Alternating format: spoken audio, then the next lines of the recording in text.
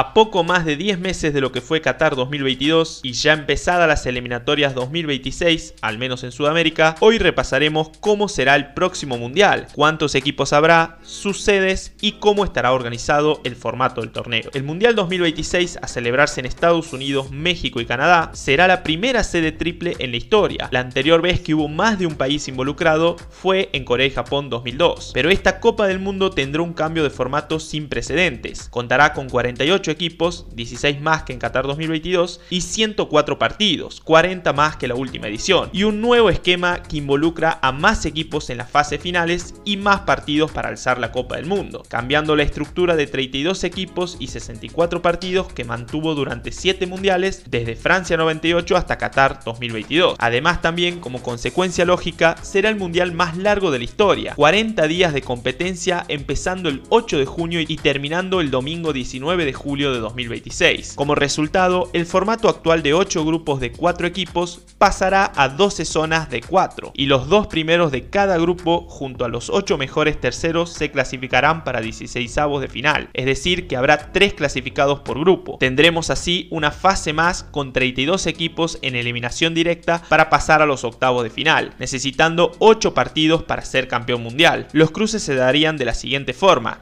los 8 mejores primeros enfrentarían a los 8 mejores terceros. Eso les permitiría diferenciarse de los 4 mejores segundos y esquivar a los 8 segundos restantes. Los 4 primeros restantes se enfrentarían a los dos equipos que se clasificarían en segunda posición. En cuanto a los representantes de cada confederación, se daría de la siguiente manera. Europa quedaría con 16 cupos, 3 más que en las ediciones anteriores, aunque no tendría acceso al repechaje. La Conmebol quedará con un cupo de 6 y medio. Con CACAF, que ya cuenta con 3 representantes por organizar el mundial, tendrá un total de 3 cupos directos y 2 al torneo de repechajes. La confederación que más representantes aumentará será África, que anteriormente tenía 4 fijos y ahora tendrá 9 y medio. Por otra parte, Asia pasará de 4 y medio a 8 y medio. Y finalmente, Oceanía tendrá un representante fijo y otro que buscará el repechaje. Los dos lugares para ir al mundial a través del repechaje se integrarían de la siguiente manera, teniendo en cuenta que serán 6 selecciones, habrán dos zonas donde los dos primeros mejores rankeados esperarán en la final y las 4 selecciones restantes disputarán una semifinal. En cuanto a las sedes del mundial, estarán compuestas por 16 ciudades, teniendo Canadá dos ciudades implicadas como Vancouver con su estadio BC Place y Toronto en el estadio BMO Field. Por otra parte, México tendrá tres ciudades, con el mítico estadio Azteca que albergará por tercera vez una Copa del Mundo, el estadio Akron de las Chivas de Guadalajara y el estadio BBVA de Monterrey. Estados Unidos se lleva la mayor parte de sedes mundialistas con 11, el Mercedes-Benz Stadium en Atlanta, el Gillette Stadium en Boston, el ATN Stadium en